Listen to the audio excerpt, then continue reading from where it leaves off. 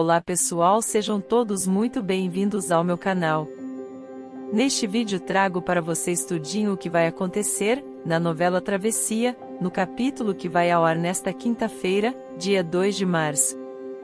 Mas por favor já vai deixando muito like aqui nesse vídeo, se inscreva no canal e ative o sininho, para não perder nadinha. Núbia não gosta de ver Brisa na festa. Jastênio diz Elô, que Moretti quer atribuir à guerra a paternidade de Ivan. Depois, Leonor percebe o interesse de Talita por Kaique. Mais tarde, Brisa discute com Ari e acaba jogando o rapaz na piscina. Logo depois, ela vê Otto chegando à festa com Bia e conclui que ele era o Pierrot. Em seguida, ela envia um vídeo para a guerra, pedindo desculpas por seu comportamento na festa. Otto comenta com Dante, que não confia em Guida.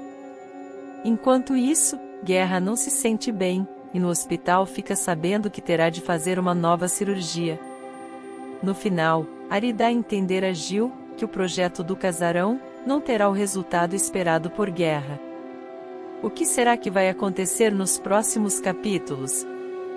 Deixe sua opinião nos comentários e se inscreva no canal para ficar por dentro de tudo, e se gostou do vídeo, deixe seu like, obrigada por me assistir, fiquem com Deus e até a próxima.